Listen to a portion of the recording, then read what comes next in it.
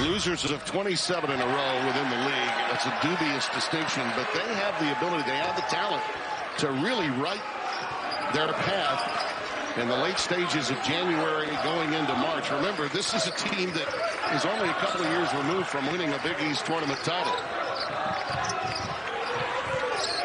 How will Georgetown defend Cam Whitmore? That is something to watch as this game develops. Shot clock is down to six already. Caleb Daniels, the Tulane transfer, finds Whitmore on the wing.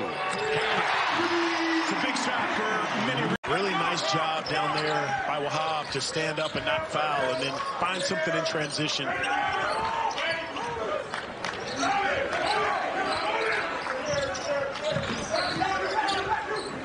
Classic Villanova four out, one in.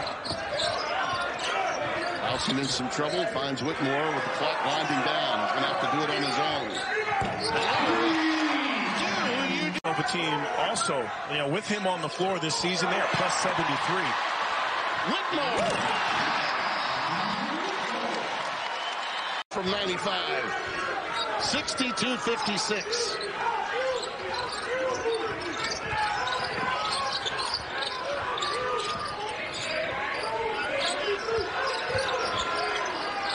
Whitmore. Best is at home.